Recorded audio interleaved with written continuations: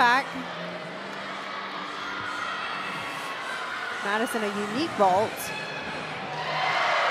And handled that really well. The front landings are always very hard